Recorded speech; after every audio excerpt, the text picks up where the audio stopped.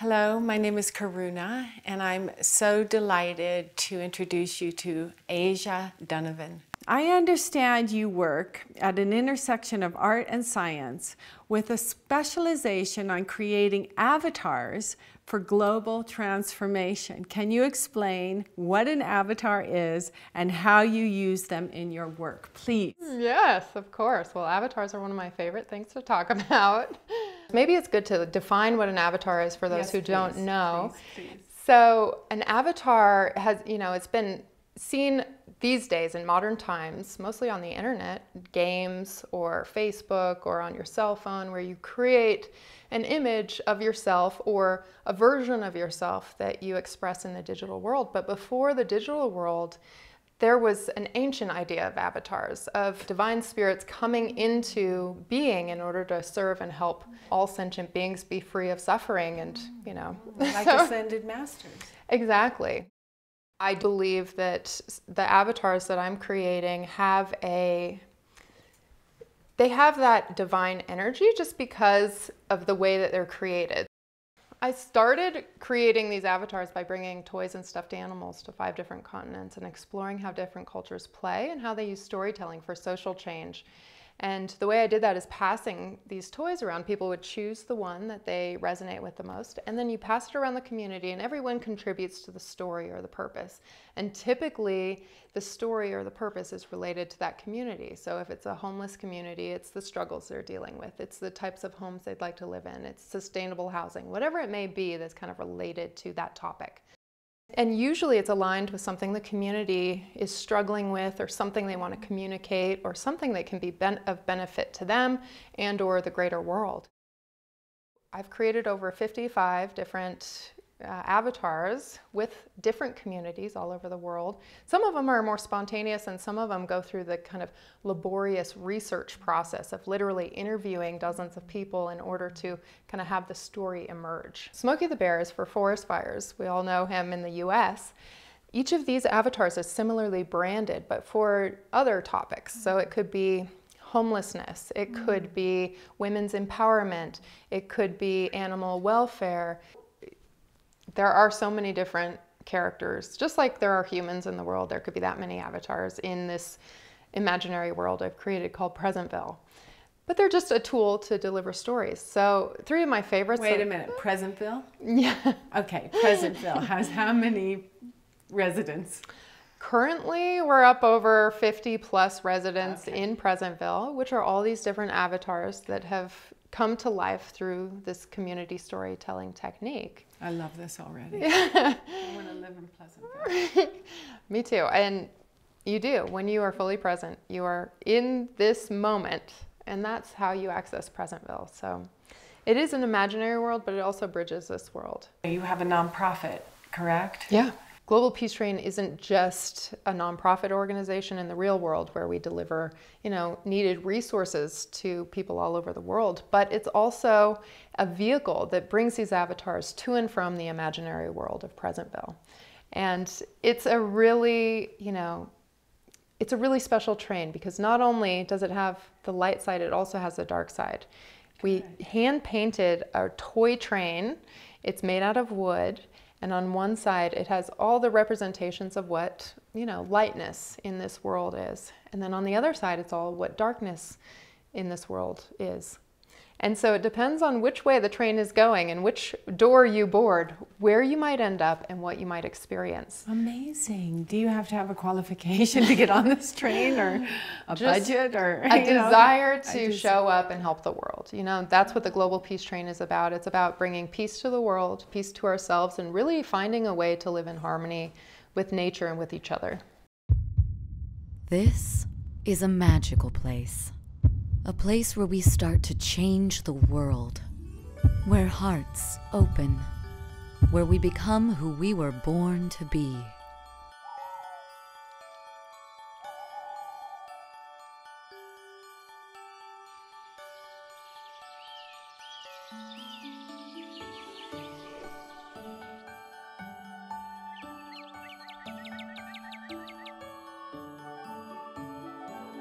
This is Presentville.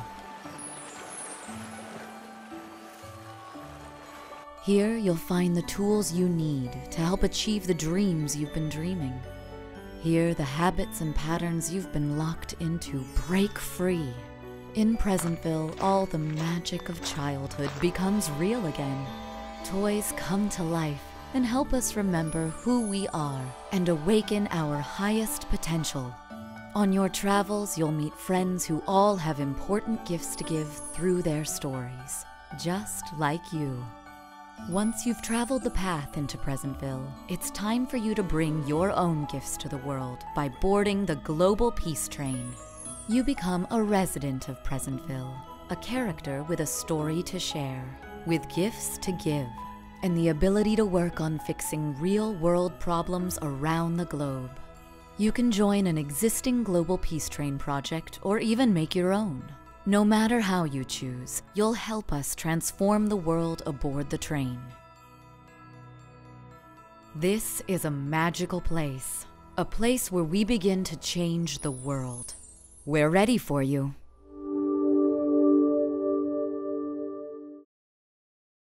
Can you speak about three avatars you have been working with this year? The avatars that I've been working with the most in the real world this year are the Weeping Woman, the Eagle Avatar, and Rainbow Sparkle Pants.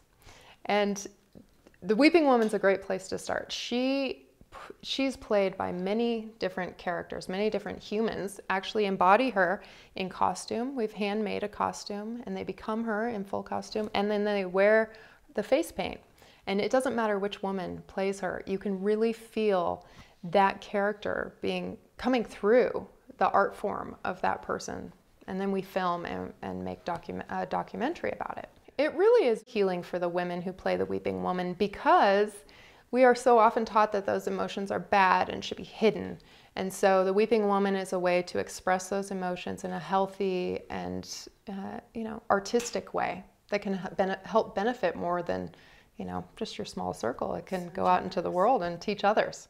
You spoke about how how we could also work with um, our own avatars and how they would transform us into healing the pains that we're carrying towards each other and towards ourselves, mostly ourselves, and how we can dress ourselves in, say, the weeping woman and avatar and act that out so we can be responsible for ourselves. Can you speak a little bit about that? I love using the avatars for personal development because they give us an opportunity to play any character that we want and they also allow us an opportunity to be anonymous you know so we can hold a different truth mm. and uh, the weeping woman is a great mm. example the original uh, weeping woman idea has been used through different cultures as well. So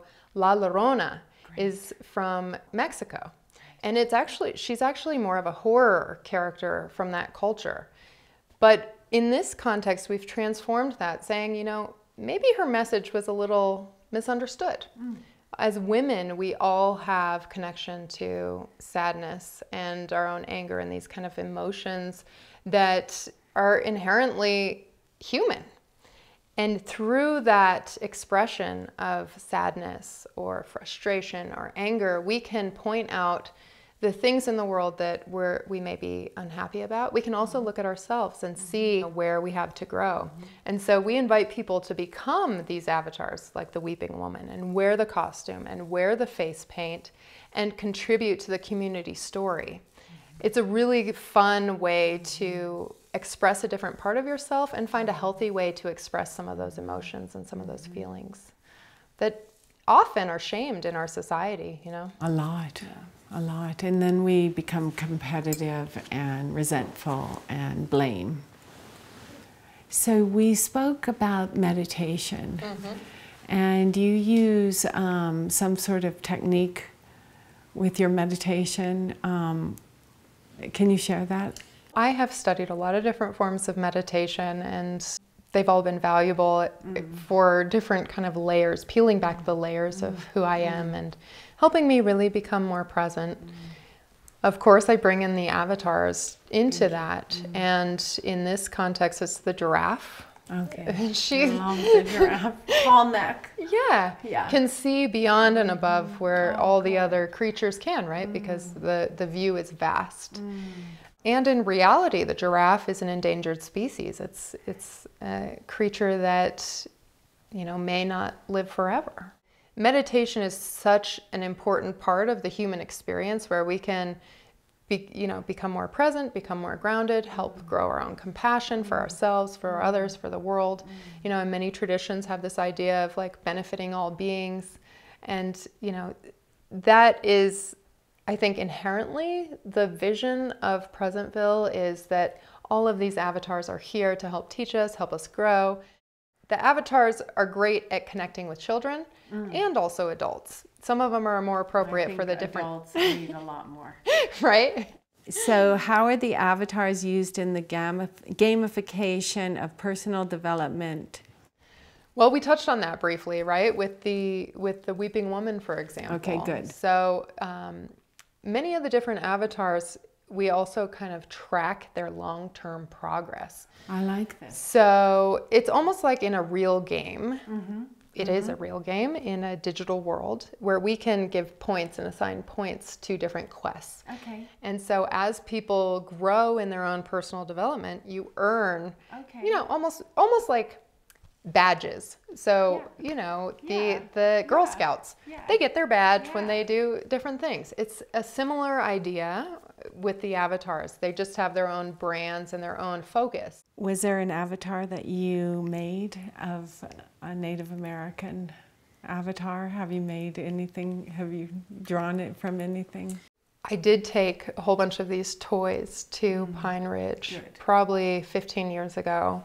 And you get to see which who is drawn to what Mm. and which toys really which characters So you can just lay them out and, And people- the characters will choose. and people pick, yeah. Yeah. People pick what they're drawn to. And of course the amazing. the characters that the Lakota already have a connection to were the most popular. The puppy, the eagle, the bear, you know, these the buffalo. So those are very meaningful Mm-hmm. avatars or characters for the Lakota people Mm-hmm. and you know, they all have their own stories. And did you use this in your filmmaking, your most recent film? The eagle avatar is the character in Presentville that represents indigenous wisdom and preserving indigenous wisdom. And I've been very fortunate to be connected with Dave Swallow, a Lakota medicine man and Sundance chief, and one of the headsmen of the Lakota, Nakota, and Dakota tribes. And he lives on Pine Ridge Reservation in South Dakota. I've known him since I was a kid. I was running around the sweat lodges while my mom was in sweat. And uh, So you were sweating basically, even if you were outside of the lodge, you were In taking in that medicine. So that's part of your stri- that's part of your DNA. Exactly. And, you know, when you play on the playground, boy, you sweat. You do. so, um, you know, Dave and I have known each other a long time, and he had this dream to tell this story in film. He had seen a lot of films that kind of connected some of the indigenous culture or themes, but he felt like the native story was missing. And many of those stories are told through, you know, either the eyes of a white person or the eyes of even if they are indigenous, somebody who has been kind of colonized in the outside world. Dave Swallow grew up on Pine Ridge and has lived there his whole life pretty much, although he's traveled quite a bit. But he doesn't have the traditional colonization and education that people who leave the reservation encounter.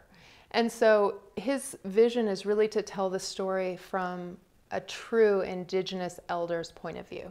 And I think that's really important to see, you know, it may not, the film may not look like what we're used to of some big Hollywood movie, but this is a story that's coming from his eyes and from his, you know, wisdom and trying to connect the youth, especially those who have strayed from the Red Road or who have strayed from the Lakota culture, to help them reconnect and help outsiders who may not be Lakota try to understand and connect with these teachings that are in danger of dying out as the elders leave us. How do you know what each community needs? Usually it's always defined by the community themselves. Mm-hmm. So, So Pine Ridge. yeah, Pine Ridge. So Let's this is- talk about where you shot your film. I have a deep connection with the Lakota people, just have since childhood. It wasn't until my mom kind of brought Dave and I back together, probably about, I don't know, seven or eight years ago to do another film, a documentary style film about Pine Ridge, a shorter oh, piece, that he found out that I was doing film and he handed me a script back in 2017 and he was like, hey, let's make this movie together. And I was like, okay. He's like, I have a couple other smaller movies that I'd like to make before that that are shorter films and let's start there. Mm. And I was like, yeah, let's do it.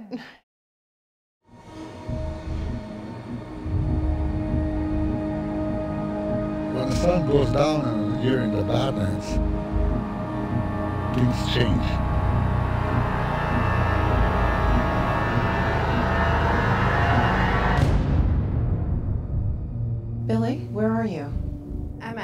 Hospital. What happened? I don't think you would believe me if I told you. It's a really beautiful story, and of course, Dave and I both bring, you know, certain elements into the film. Mm. I always hide little avatar suggestions and things in all of my work. So yes, there are little little crumbs that people will find if they're really interested in the different avatars. They may see some of those avatars throughout the film. We wrote it together based on his an interview I did just like mm-hmm. this on mm-hmm. film mm-hmm. and we created you know a whole world with all these characters that connect to the Lakota culture and traditions. It was a, a very challenging film to make because, you know, obviously with an indie film, the funding is always one hurdle, right? But then beyond that, working on Pine Ridge is really challenging. Everything is very spread out. Um, the amenities are not like what we're used to outside At of all. the reservation, right? Not even close. No. So, you know, a lot of people up there don't have running water, they don't have heat, they don't have electricity. You know, they use homemade outhouses outside. To this day. To this day. This yeah, so it's like a third world country right here in the middle of the US of A we don't focus on that, but it's it's a window into what Pine Ridge is now and also how Pine Ridge kind of got there. And how did they like you being up on the land and filming and were they happy to have you or yeah wanted to be involved? For sure. Many actors show up? For sure. Uh, you know, Dave Dave Swallow is, has a wonderful community that he's built on Pine Ridge since he lives there. And him and his wife work tirelessly to preserve the Lakota teachings for future generations. And some of those teachings, just like with other indigenous cultures, are in danger of dying out as the elders leave us because the youth are coming in and mm. they have less interest maybe in the old ways and more interest in being in, you know, a more modern society watching TV, having connection to internet, mm. you know, all, all of the modern mm. things that youth do these days. Dave talks about the Red Road and yeah. in indigenous, in his culture, mm. the Red Road is the spiritual path. Mm. And so when we stray from that, as I did too, as a mm. teenager, but to find it again, you know, and so the film is, is a call hoping that you know, those who are ready to walk the spiritual path will come back to the red road and, you know, follow follow in the footsteps of their grandfathers. I mean, this is a big deal. I remember when I moved back to Colorado, I met a medicine man, and that's how I went to a lodge, and um, and it just changed my life. I mean, it, it gave me no out, and um, and I remember helping to provide for an old grandmother up there, Grandma Gertie, and um, she said that her daughter had a trailer with 25 children in the trailer and the heat was coming from electric burners. Yeah. And that's the truth. Yeah. And, and it's still like that today for a lot of families. We have to make a difference. We have to change the ways of this. We have to take care of our indigenous. There's one way to kind of ascend, you know, in our own spiritual journey, but there's also like the basic needs that have to be met for all of us. It's very challenging to, yes. you know, actually have an ascension if you don't have the very basic needs met, right? And at the same time, the, that struggle can birth whatever's coming. The most important thing is for me is to help people not only kind of have those basic needs met, but also work towards expressing their dreams and their highest purpose. So that's where this film comes in place. Of course, in the filmmaking process, we pay the locals we you know we help pay some of the bills. We help bring resources yeah, and people to help build or, or, where can we send money? It's all on, non, where yeah, it's, it's all on, on, that nonprofit? Yeah okay. globalpeacetrain.org okay. we must send money everybody now. You have animate inc. as well. What is yeah. animate well, that's where I do more of my like technology work. We should just drop that in here. Yeah, totally. I do a lot of my my work in technology is in virtual reality, mixed reality, cinematic reality. So it's about telling stories through different types of technology. And a lot of them are headsets. Headsets that take you from this world into new worlds, or some of the new AR headsets, which allow you to be in this world and have a digital layer over top. And it's really a new way of storytelling. And it has its own juice and its own power, right? When you are here in this moment and then you put on a virtual reality headset and next thing you know you're in a war zone it is going to impact you in a way that just reading about it or, or seeing a video may not do you're actually standing there and experiencing it and the brain can't really tell the difference between what's real and what's not when you're in virtual reality so it has kind of a deeper impact you know than than some of the other ways of telling stories. So. I had no idea about that scientific yeah. fact about the brain. yeah, a lot of people when they get into like a virtual reality headset and they're standing on top of a building, they get the real body vertigo. They get they feel like they know logically they're inside of Do they? the headset. Do we? Yes, oh. but they it, it's like the body has the sweating, the real visceral reaction to what they're experiencing inside the headset. So it's a really wonderful way to start to build empathy for other cultures by literally visiting those places or, or stepping into new pla- new stories. Yeah. A lot of people are hesitant to open their voice or talk about a story or share a story that could impact the world. And I think that's where the avatars really come in because the avatars create an opportunity for people to be anonymous although they're in full costume so that they can have they can tell more truth right if you're if you're not playing yourself it's not as vulnerable you can kind of you can share more deeply knowing that maybe you're not going to have the same impacts your family might not know it's you or the world around you might not shame you for whatever you shared right so it's a way to tell a more honest story and remain anonymous and it's a really cool way for the stories of the whole community to build on each other, to see different points of view of one topic. And find forgiveness. Absolutely. That's one way in you each can... other's stories. And inspiration, spark, right? And, inspira- yeah. and empowerment. Yeah. It's going to spark a lot of change. I hope so. it's great timing. What is the first project you started at the youngest age you began developing these incredible projects? You could say it started when I was a child. Mm. So I was by myself as an only child, and I would hang out in my closet with all my stuffed animals and all my toys, right?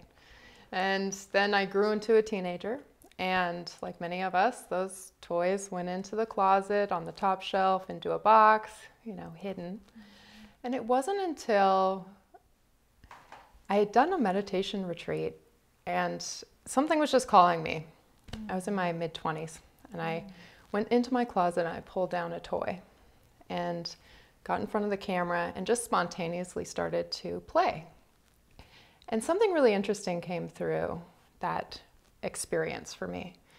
And it sparked this journey that took me across five continents, exploring how different cultures play and how they use storytelling for social change. And I did that by literally hauling huge bags of toys to all these continents by myself really? with camera gear and lots of extra baggage. yes, some of oh the airlines God. were like, uh, "Sorry, you can't get on with this," and then I'd always find a way. So. Uh, and who told you to do this? How did you invent that whole routine? In that moment, I pulled this doll from my closet in my mid 20s. Did she have a name? At the time, she didn't. She was completely, it was a toy that my mother gave me as a teenager. And I remember being like, oh my God, why is my mom giving me this toy? I'm, I'm a, a teenager. Like, I don't want to be playing with dolls anymore. And it ended up being like the thing that sparked a lot of my journey. When we're children, we're all connected through play, no matter where we live in the world. No matter what toys we play with, whether it's a rock or a stick or a stuffed animal or Legos or whatever it may be, we all are connected through play as children. So it's a common language mm. that we can mm. speak. Mm. And this one doll, as it came out and as I started to kind of reconnect with that part of myself that I had left in my childhood, it ignited just this mad journey I've been on for the last 20 years.